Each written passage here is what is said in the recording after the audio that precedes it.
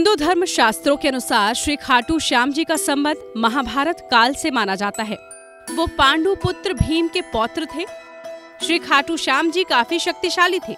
द्वापर युग में भगवान श्री कृष्ण के वरदान की वजह से कलयुग में उन्हें श्री श्याम के नाम से पूजा जाता है।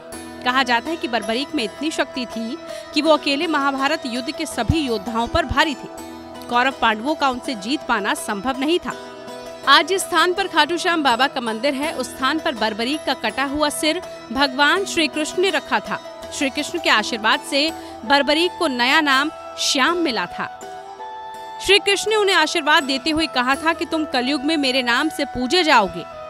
वो व्यक्ति जो दुनिया में हर जगह से हार जाएगा तो तुम उसका सहारा बनोगे।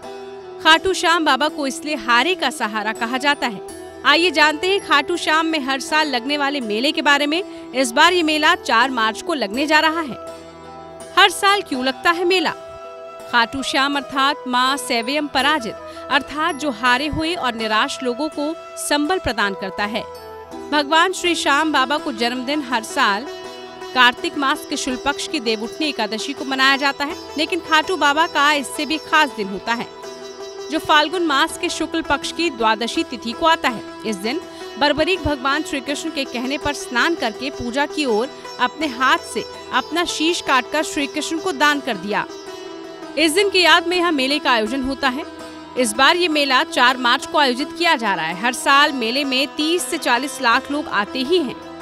बहुत प्राचीन मंदिर।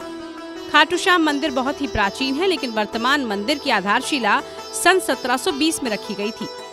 यहाँ लगता है मेला। इसी मंदिर परिसर में लगता है बाबा खाटू श्याम का प्रसिद्ध मेला। हिंदू मास, फाल्गुन मास, शुक्ल षष्ठी से बारस तक ये मेला चलता है। ग्यारस के दिन मेले का खास दिन रहता है। लाखों श्रद्धालु आते हैं यहाँ। राजस्थान के सीकर ज़िले के खाटूधाम में पड़ने वाले बाबा श्याम के इस वार्षिक मेले में तकरीबन 30 से 40 लाख श्रद्धालुओं के पहुँचने का अनुमान है। दो वर्ष कोरोना के कारण यहाँ लोग नहीं पहुँच पा रहे थे, लेकिन इस साल यहाँ ये संख्या बढ़ने वाली है। कहाँ है खाटू श्याम मंदिर?